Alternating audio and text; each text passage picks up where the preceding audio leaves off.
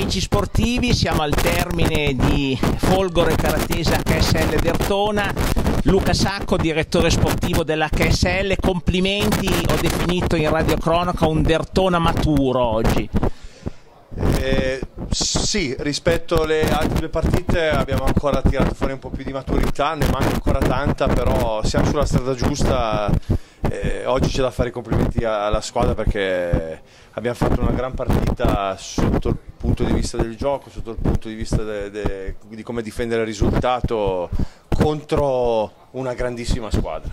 Chi vedrà sui nostri canali il gol di Michele Spotto dirà un grande giocatore, veramente un bel gol Luca, parte alla prestazione.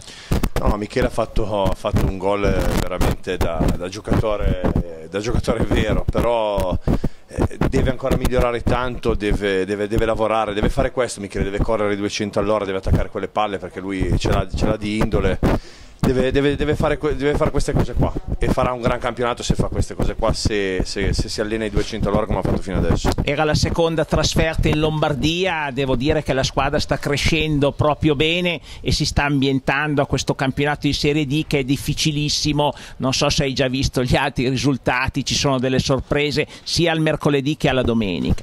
No no ho visto i risultati questo è un campionato duro per tutti ogni squadra che affronti la devi sempre affrontare con la testa piena perché se tu concedi qualcosa ti fanno male chiunque, quindi eravamo consapevoli, siamo contenti di fare questo campionato e, e cerchiamo di farlo nel, nel, miglior modo possibile come stiamo facendo in questo momento.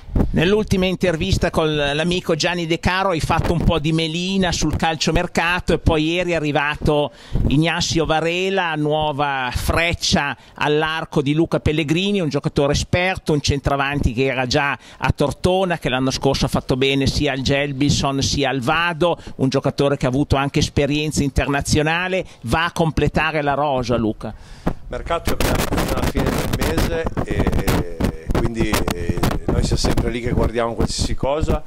Eh, Varela era un giocatore, un'alternativa che era già avviata già da tempo, è stata un'alternativa lunga, siamo arrivati a un punto di incontro, siamo contenti di averlo qui a Tortona perché è un giocatore che ci dà centimetri, ci dà esperienza e, e siamo convinti che possa fare bene questa stagione con noi.